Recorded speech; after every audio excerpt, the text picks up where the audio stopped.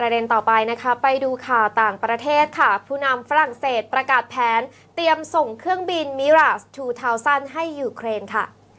สำนักข่าวต่างประเทศรายงานจากกรุงปารีสประเทศฝรั่งเศส ว่าประธานาธิบดีเอ็มมานูเอลมาครง ผู้นำฝรั่งเศสกล่าวว่า ฝรั่งเศสจะมอบการสนับสนุนทางทหารเพิ่มเติมให้แก่ยูเครน เป็นเครื่องบินขับไล่มิลาช2000 ของบริษัทดาโซราฟา หนึ่งในผู้ผลิตอาวุธและยานอากาศยานรายใหญ่ของฝรั่งเศส และฝรั่งเศสจะใช้ฝึกในการฝึกเครื่องบินรุ่นดังกล่าวให้แก่ทหารยูเครนด้วยค่ะ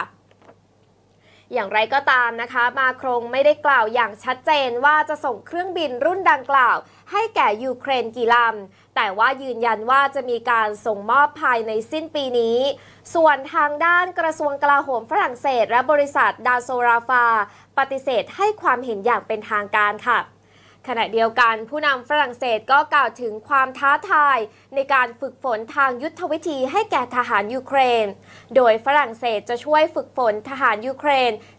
4,500 นาย เพื่อสร้างความเชื่อมั่นว่า ทหารเหล่านี้จะสามารถปกป้องตัวเองได้ เมื่อต้องเข้าสู่สมรภูมิจริงค่ะทางนี้การที่มาโครงยืนยันจุดยืนส่งทหารเข้ายูเครน ในรูปแบบของที่ปรึกษาทางทหาร สร้างความไม่พอใจอย่างมากให้แก่รัสเซีย